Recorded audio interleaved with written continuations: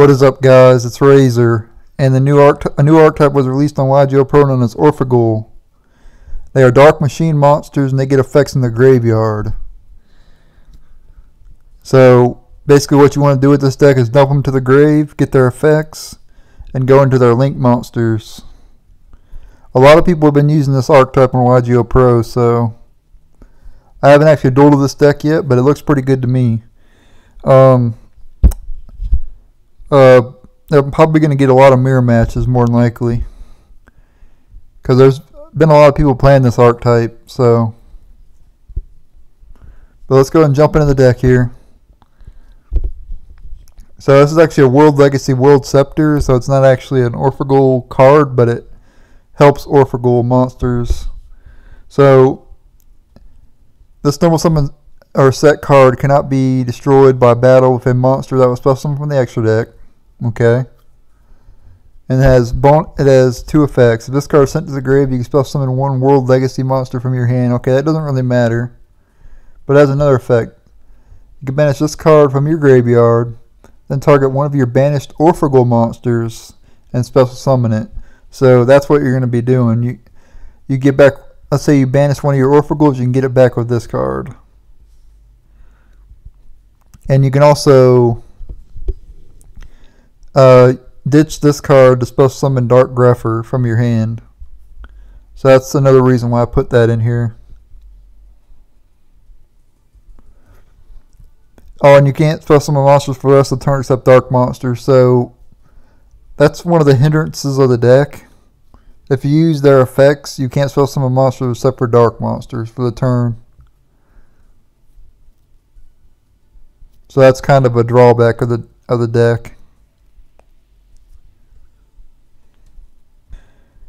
Next up we got Dark Grepher, so you can spell summon from your hand by ditching a level 5 or higher monster. And you can discard a dark monster to send one from your deck to the grave. And that's generally what you want to do with this deck. Send your monsters from your deck to the grave and get their effects. Get their grave effects. Alright, next up we got Orphegel Diver. So you can banish this card from your grave, so summon an Orphegel monster from your deck. Except Excel, except itself, except itself. If I could speak correctly. Next up we got Armageddon Knight, so it ditches a dark monster to the grave. Next up we got or Orphegel Shizer Zone, Shizer Zone. I don't even know how to say that. Shizer Zone. I think that's how you say that. But anyway, you can banish it from the graveyard, then target one Orphegel monster in your graveyard accept itself and accept itself and special summon it. Ash Blossom and Ghost Ogre because they're great cards. Hand traps work very well in this deck.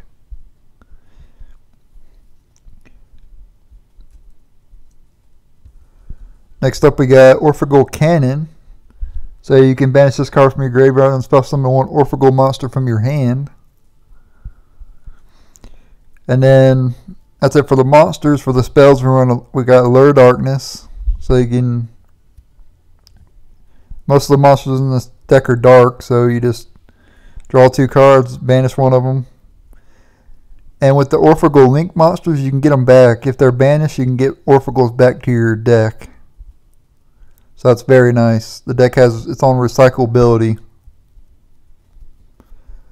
Next up, we got one of the best cards in the deck, Orphegel Prime. So you can send one World Legacy or Orphegel monster from your field or your hand to the grave to draw two cards. On top of that, you get the Orphegel's effects in the graveyard. So not not only are you going plus two on certain monsters, or not only are you going plus one, I mean, you're also going to get a effect for one of the Orphegel's effects in the grave. So special summon one from your deck. So basically you'd be going plus two with this card. Really good.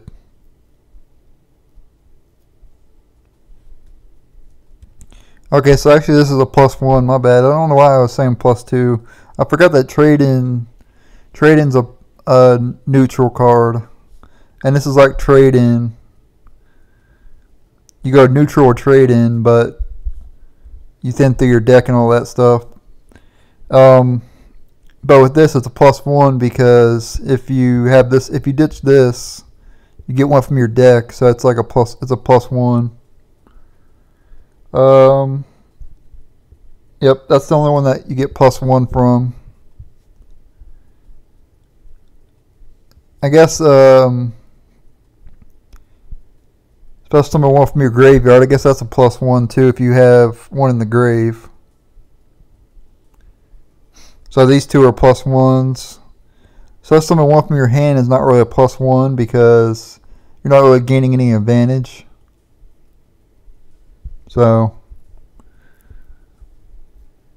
so that's a plus one with this card and this card. Next up we got Pod Desires. So obviously an amazing card. Called by the Grave Stop Hand Traps, of course. Orphegel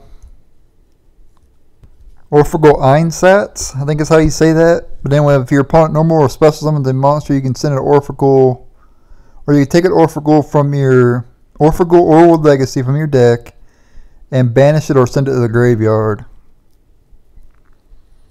So that's pretty good. Next up, we got Orphegel Babel. So this card will allow you to activate your Orphegel Link monsters and your Orphegel monsters in the graveyard during your opponent's turn. That is really good effect.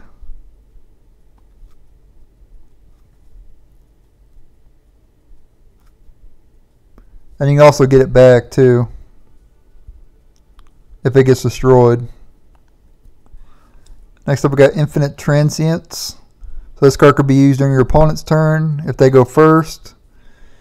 And you can stop a monster effect of course. Great card. For the extra deck we got Trishula because Orphegel Cannon is actually a tuner. So if you use two level 4s and Cannon you'll be able to go into Trishula. we got TG Wonder Magician, that's for Needle Fiber. Bagooska, because there's level 4s in here. Castel, level 4s in here. The Boss Monster, Orf Orphegel Orcestrian. So, this link card cannot be destroyed by battle or card effects. You can target three of your banished Orphegel monsters, shuffle them into the deck, and if you do, if your opponent controls any face-up link monsters, change their attack and defense to zero. Also, their effects are negated. So it's like a super boss monster, pretty much. Very good boss monster for the deck. Borreload, Borrelsword, obviously. Orph Orphegel Long Longinus. Oh, Longiris. Orphegel Longiris, I think that's how you say that. This link card cannot be destroyed by card effects. You can target two of your banished Orphegel monsters, shuffle them into the deck. Then you can send one link monster your opponent controls to the graveyard. So, pretty good effect. Next up, we got Summon Sorceress. Great card for this deck.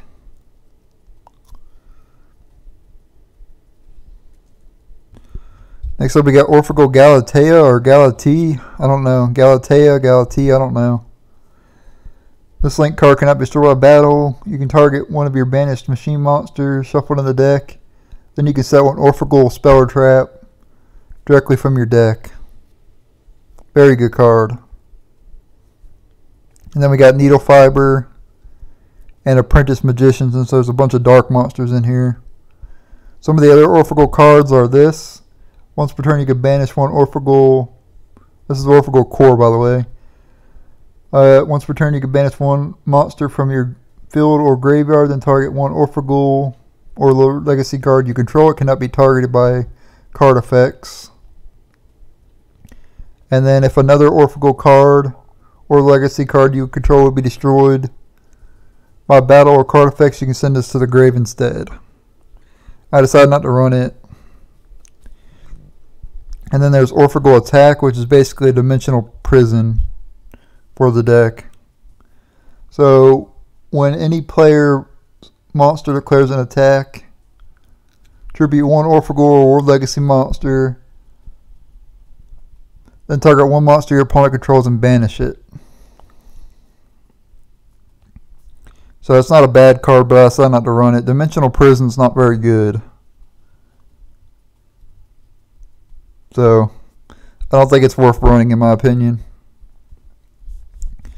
But anyway, this has been my the new Orphegel deck profiles and duels.